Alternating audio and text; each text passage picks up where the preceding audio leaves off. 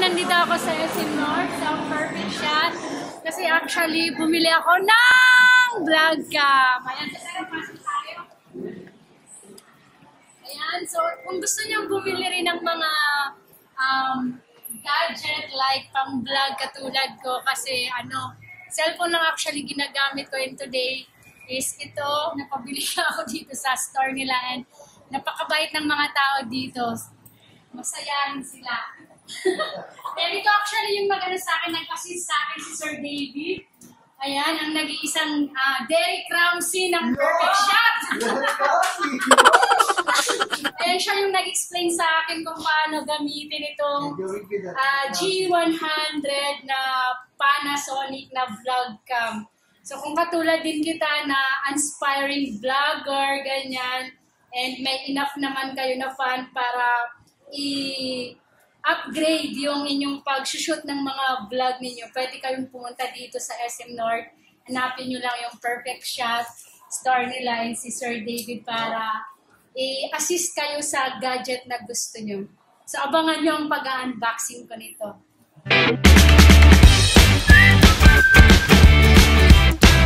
What's up mga pade? Again, welcome back sa aking YouTube channel, Andy B. And today's vlog ay mag-unboxing ako ng Panasonic G100. And before muna ako mag-start mag-unboxing, ipapakita ko muna sa inyo yung aking Magic uh, board, Magic Dream board. Ito, ginawa ko to last February, kung hindi ako nagkakamali.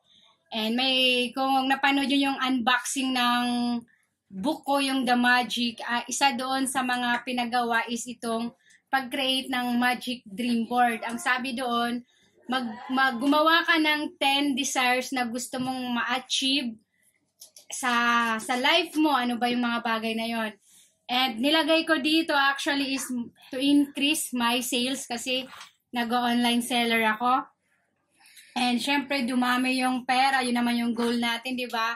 Kapag nag-work tayo is kumita ng malaking pera or mag uh, benta-benta. And aside dyan, syempre itong magkaroon ng sasakyan para may panghakot ng supply kapag dumami na yung ano, yung mga mamimili. And magkaroon ng good health in good life. Yun yung isa sa mga ginugol ko. Aside sa may good life ka na, dapat may good health ka pa. Balance lang. And yun nga, And ito, nilagay ko rin sa 10 desires ko yung uh, Sony VZ1 na vlog cam.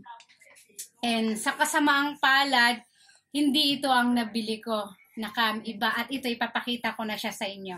And mag-unboxing na ako finally and I'm so excited kasi kung naalala nyo, nag-unboxing din ako ng MacBook Air na laptop. Isa rin yun sa mga desire ko way back 2018 and this year ko lang siya actually nabili nung uh, January 2021 and hindi ko akalain na itong camera vlog na to ay ma mabilis ko siyang makukuha kagad. Akala ko abutin pa ako ng after 2 years ulit. Uh, isa sa mga previous ng Panasonic is itong bag para kapag mag-travel pwede mo siyang madala ng safe Ayan, libre na tong bag na to. And excited na ako sa pagbablog, pag sa travel vlog soon, pag wala ng ano, virus. And aside that, no, ito rin isa sa mga freebies. Itong Saramonic uh, microphone na pwedeng ilagay mamaya sa ating uh, camera body. And of course, meron din pa freebies na 16 gigabytes yung store na pinagbilhan ko. Actually, wala na siyang laman kasi pinasok ko na dun sa cam. And mamaya, ipapakita ko sa inyo. And finally, no, without further ado, no, ito na ipapakita ko na. Tanananan! Ang Panasonic Lumix G100. So, yung nasa goal ko, nasa Magic Dream board ko ay itong Sony VZ1. Pero sobrang lupit ni Lord. Mas upgraded yung camera na binigay sa akin. Mas high-tech. Kasi, itong camera vlog na to is pwede pang filming. Big sabihin, kapag gusto kong mag-shoot ng uh, series, mini-series ganyan sa na, na content, pwedeng gamitin to. All in one na and pang professional daw to. So hindi ako professional na videographer or photographer, pero maaral natin yan along the time kapag nagamit ko na to. You open ko na. And so, sobrang blessed and thankful talaga ako kay Lord kasi kahit na pandemic, alam mo yon binigyan niya pa rin ako ng opportunity to earn and makuha yung mga bagay na gusto ko. And forever grateful talaga ako sa mga taong naka-mastermind ko kung ano yung skills and talent, strategies na meron ako ngayon na ginagamit ko sa may online business na ginagawa ko. And of course, ito, ito yung kanyang manual na binasa ko siya kagabi para alam ko kung paano i-explain to, syempre. And, syempre, ito natin. Nanananan. May drum dapat eh, no? Ito na siya. So, first, na kasama dito sa pinili kong cam itong tinatawag na tripod. Ayan. Meron din siyang uh, lagayan para safe, safe yung camera kasi hindi mo malalaman mapunta ka sa lugar na magnanakaw pala yung mga tao doon. Hindi mo alam mamaya manakaw, 'di ba? So, para safe siya, ayan, i-adjust mo lang. And, itong cord na to is para i-connect sa cam. Para pwede ka nang mag-take ng video dito. Itong red na button is for video recording to. And itong shutter naman is for picture. So, dito ilalagay yung body. Ayan. Tapos, pwede mo siyang pahigpitan or panuhin. Tawag dito. Paluwagin ito. And ito, sa gilid, pwede mo siyang patulogin sleep. Halimbawa, uh, ayaw mo siyang i-off yung camera mo, pero ayaw mong ma-drain yung battery niya. So, iset mode mo lang siya ng sleep kung nandito siya naka, ano, naka-connect siya dito sa uh, tripod. For stabilizer kasi to para kahit na tumatakbo ka, nagsushoot ka ng video, hindi masyadong shaky yung pagkuha. And pwede rin siya actually ipatong sa table, pag ganyan, like this. Kung wala ka namang kasamang videographer or magti-take ng picture sa'yo. So, pa, napaka ano niya, madaling gamitin. Okay? And, next is itong belt. Ayan, meron siyang, ay belt. ano to, tawag dito, handle ng bag niya, ay ng bag, ng body niya. Later, ikakabit natin yan. So, ito yung kanyang uh, cable for charging and for transferring files. Dibawa, uh, may laptop ka, gusto mo nang i-transfer yung content na ginawa mo, pictures, videos, ito yung kanyang connector or cable, ano, connector, ganyan. Siyempre, charger and binilan ko siya ng adapter kasi pabilog yung ano niya, yung charger niya. So, kailangan ng adapter kasi wala namang pabilog dito na saksakan sa bahay ng pinsan ko. And, ang kagandahan no, sa kanila sa Panasonic uh, Lumix G100, may extrang battery sila. Kasi actually, ang limit time lang nito ay 1 hour. Kapag tuloy-tuloy kang nag-video, nag-pictures, 1 hour lang talaga yung limit niya. That's why, binigyan ako ng extrang battery nung store para hindi mabitin sa paggamit ng camera na to. And ang pag-charge nito ay 2 hours. And ito na, finally, papakita ko na sa inyo ang body. Ayan, ito ang katawan niya. Ito. So, yung ano, yung BZ1, nagtanong ako, no, nasa 34 to 35,000 siya. Itong Panasonic Lumix G100 is nasa 49,990 yung price niya sa mall. Ayan, and kung mga inspiring uh, vlogger kayo like me, gusto, or kaya hilig nyo talaga magkuha ng video or pictures, and gusto nyo maganda yung ano yung quality, so pwede rin kayong bumili nito. Ito yung kanyang ano, uh, takip ng lens. Syempre, tatanggalin natin yan. Ang kagandahan dito no sa lens sa lens na to is standard yung size niya. Unlike sa ibang camera na parang yung lens nila uh, may may sizes bago isukat dito kahit anong size pwede kasi pang standard si G100 no yung Lumix no and ayan So, ito ito yung ano, it, may kung gusto niyo mag-take ng picture at gusto niyo magkaroon ng flash, iangat niyo lang 'to, itong bagay na 'to and yun na, magpa-flash na siya mamaya, i-demo natin. And ito yung lagayan ng mic. Ito, so tanggalin lang natin, ipasok natin yung mic ngayon para makita ninyo kung paano talaga siya. ito siya. So, ipapasok lang natin kahit saang side naman to pwede. Pwede sa likod, pwede sa harap. O, halimbawa, sa likod mo, ganyan. Kaya pwede naman sa harap. Halimbawa, sa harap. So, pwede din. Kayong bahala kung ano yung trip ang gusto ninyo. Pero, dahil nga sa harap na lang tayo, ayan, ipapasok lang natin siya. Tapos, itong ano na to, itong bilog na to, i-roll lang natin siya para maghigpit. Incharan, may mic ka na para males yung kanyang uh, mga sounds or what. Tapos, syempre, i-on natin to. Ayan, para magamit natin siya. Kailangan natin siyang i-on. Ayan. And, i-open itong kanyang LCD na tinatawag para makapag take tayo ng picture and kailangan natin tong i-zoom out. Ayan. Para makita yung picture and ito na siya. Ayan. Sobrang linaw nito. Actually, meron siyang blurred type. Kung gusto mo, ba naka-blurred lang yung background sa pagpipicture. Like kagabi, nagpicture na ako, no?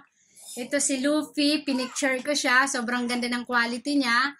Kung mapapansin mo yung background niya, naka-blurred. Pwede naman yung unahan ng naka-blurred or yung ano. Pati sa video, ganun din siya. Kinuhanan ko na din to ng video. Yung kagandahan sa LCD niya, no, touchscreen, no. Ayan, so i-play natin yung video.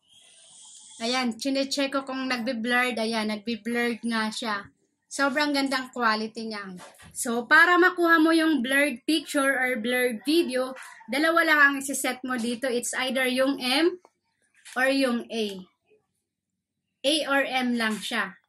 Doon mo na masiset mo na siya kung paano. And ito, itong red na to, ito yung for video recording. And kapag magtitake ka ng picture, itong bilog na nasa taas ito. Halimbawa, ngayon magtitake ako ng picture, no? Ipipick ko siya, ibig sabihin picture.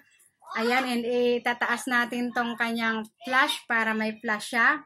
Tapos, half press lang siya. Pwedeng gamitin itong sensor na to dito kung ayaw mo naman dito tumingin. Pag ito ang ginamit mo, papansinin mo, haharangan ko siya, nagbablock yung LCD niya. Kasi nga, yung sensor niya naharangan. Pag yung mata mo ang nakalagay dyan, magbablock. Ibig sabihin, ito na yung makikita mo. Pero pag hindi mo to hinarangan, dito ka makakita. Ayan. May flash. Oh, ganun lang siya. Ganun lang siya kadali gamitin.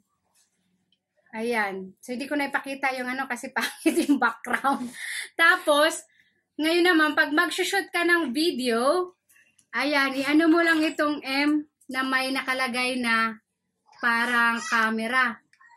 I-roll mo lang siya at naka-video na siya. Ang kagandahan dito, no, i-click mo itong red. Meron siyang 3 seconds na ano, i-remind ka to shoot. Ayan. And nagre-red yung ano niya, yung screen niya. Ibig sabihin, nagre-recording na yan ng video pag naka-red siya. And itong mga lines na nakikita na to, itong kulay green, ibig sabihin, pantay yung pagkuha ng video niyan. Pero kapag may nag-ano, uh, yellow, white, ibig sabihin hindi siya pantay. So, naka-set up din yan. Nasa manual din yan kung paano siya isi-set up. Para pag nagkuha kayo ng video, or ng picture, alam nyo kung pantay or tabingi siya.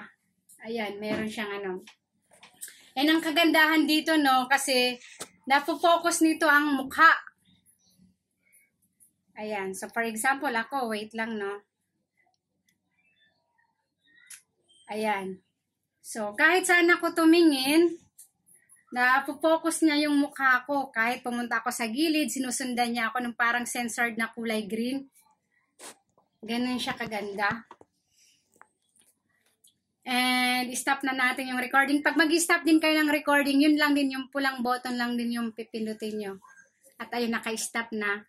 So, makikita nyo ang video dito. Ayan na siya, oh. Hmm, basta madami yan. So, para makapunta kayo doon sa mic pala, i-click nyo tong menu set na to. Pagka-click mo, makikita mo yung built-in mic. I-click mo yan. Then, ayan, may nakita siyang auto, surround, front, tracking, or back. Limbawa, gusto mo front lang yung makapture na boses sa video. So, click, iset mo lang yung front na yan. Kung gusto mo naman yung nasa likod naman yung makakapture, yung back naman ang i-click mo. Or kung gusto mo lahat, surroundings. Kahit sino-sino. So, ito namang surround ang i-click mo.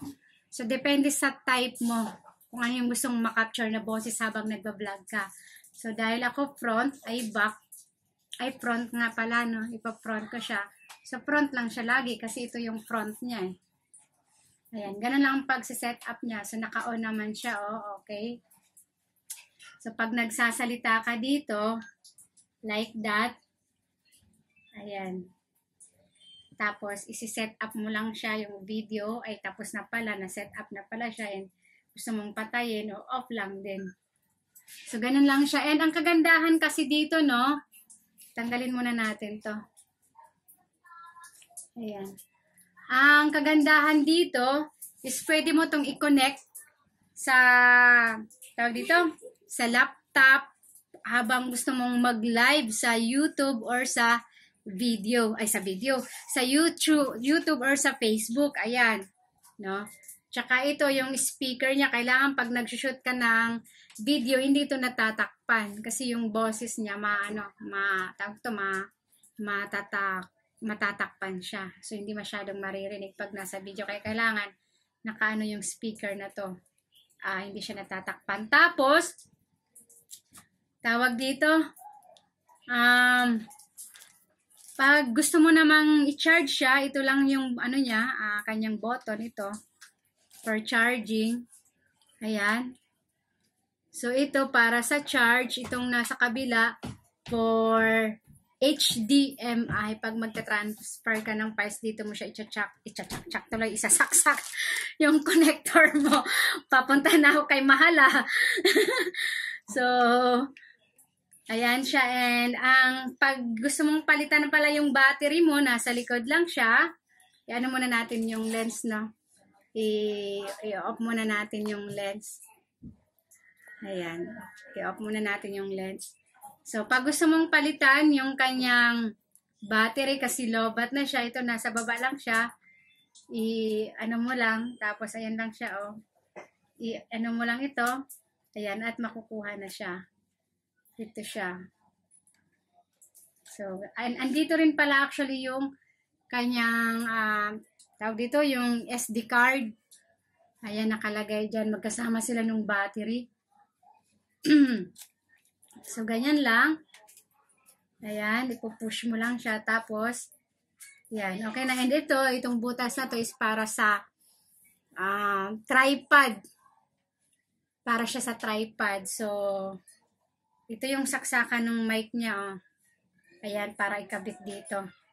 Ito siya. Pwede ito pang cellphone. Yung tatluhan ata ang pang cellphone, di ba? Tapos yung dalawahan yung pang ano. Ayan. So, isasaksak lang lang siya pag ganyan. And dito, sa mic at pwede na. Ayan. Kahit saan lang naman siguro ito eh. Ayan. So, nakakabit na sila. Hello, mic test. okay ka lang ba, mic? And yung lenses niya, no? Kung gusto ko daw palitan to ng mas bongga, pwede. Anytime na gugustuhin ko. Sabi no, ano, kaso, uh, taglit, hindi naman ako talaga magiging pro, kaya okay na to sa akin kasi libre naman, nagagastos pa ako ng another lens, eh, meron na ng lens. So, ganyan siyang setup, di ba? Ang ganda o ang pogi. Kaya I'm so excited na nagamitin to and sobrang uh, thankful ako kasi sa birthday ko mismo nakuha ko yung ika tatlong desire ko na nasa magic board. kasi ito yung mga desire ko eh. Ayan, yung mag-increase yung benta and nangyayari na siya. Siyempre, pag nag-increase yung benta, dadami yung ano, yung, yung income. Ayan. And nangyayari na siya. And ito, nabili ko na siya. So, Sa sampung desires na nasa magic dream board ko, tatlo na ang nakuha ko. Malay mo, soon, pag ah, binigay sa akin ni Lord, yung four wheels na pala, no, pang ano ng mga pang-angkat ng mga supply. Hindi natin alam. Basta si Lord, pag nagbigay siya ng blessings, alam mo yun, ah, hindi, ah, pwedeng matagal, pwedeng mabilis. So, depende sa kagustuhan niya and depende rin sa kagustuhan natin. Gaano ba natin kagustong makuha yung dinidesires tayo. And syempre, kailangan natin actionan. Bawat desires na gusto nating makuha sa buhay natin, may action na ka kaakibat yan. Hindi pwede na nagdasal ka na, Lord, bigyan mo naman ako ng four wheels, ganitong kulay, tapos kinabukasan pagising mo, meron ka ng sasakyan sa garage, walang ganon kailangan natin i-work out yung mga bagay na gusto natin. So, without action, no, yung pangarap natin hanggang pangarap na lang. Kaya sa mga nangangarap dyan, katulad ko, tas may challenges na pinagdadaanan, tuloy mo lang. Tuloy, tuloy, tuloy, tuloy, tuloy, tuloy, tuloy, tuloy ka lang. Huwag kang susuko hanggat hindi mo nakukuha yung mga bagay na gusto mo. Kasi ang sarap sa feeling na ang dami mong challenges na pinagdaanan, nakala mo hindi ka na makakabangon, tapos na, na nalagpasan mo pala, tapos biglang nakuha mo yung bagay na gusto mo. Ang sarap sa feeling. Ito yung nangyayari sa akin ngayon and uh, hindi na ako makapag-antay na maibigay sa akin ni Lord yung four wheels na gusto kong makuha. Hopefully, hopefully makuha ko na siya. And ngayon pa lang, sobrang thankful and grateful na ako sa lahat ng blessings na meron ako. So, abangan nyo mga pade pala ang mga mukbang vlog and travel vlog ko soon kapag wala ng pandemic na gamit ito. Kasi gusto ko magbigay ng magandang quality sa mga nanonood sa akin. Kahit konti pa lang kayo, ano na ako dyan, tawag dito, sobrang grateful na ako kasi kahit ko konti pa lang, may nakaka-appreciate sa mga content na ginagawa ko. Ay, pagpatuloy nyo lang. And soon, mamimigay ako ng mga giveaways sa lahat ng mga nakasubscribe sa akin. Kaya please, kung napapanood mo man to, and gusto mong makakuha ng mga giveaways soon na ipapamigay ko, don't forget to click the subscribe button and notification bell para ma-update ka sa mga upcoming vlog pa na gagawin ko mukbang vlog man yan, unboxing ng iba't ibang gadget or item, at saka mga travel vlog. So, see you on my next video.